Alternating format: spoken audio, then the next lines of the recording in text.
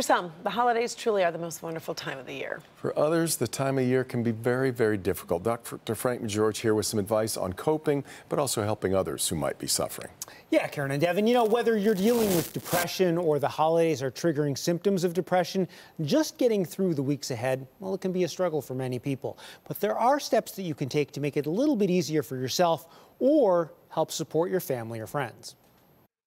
While commercials are filled with holiday joy, that's often not the reality. I think for a lot of people, it reminds them of the folks who are not in their lives anymore. Um, a lot of people feel alone during this time of year, and so that might contribute to depression symptoms. Dr. Kia Rai Prewitt is a psychologist at the Cleveland Clinic. She says some signs of depression can include loss of interest in doing things you used to enjoy, feelings of sadness, hopelessness, or worthlessness, a change in appetite, and trouble sleeping. So, what are some ways you can cope during the holidays? I think trying to connect with loved ones who are in your life, um, trying to find things that bring you joy. Um, it might even be changing something in your environment that brings a smile to your face. Try something that appeals to one of your five senses, like smelling a favorite scent, listening to calming music, or going for a walk outside. If you're missing someone, find a way to remember or honor them during the holidays. It's okay if you feel sad or maybe a sense of loss or grief during this time. Um, two, it doesn't mean that because you feel this way now that this is something that will last forever.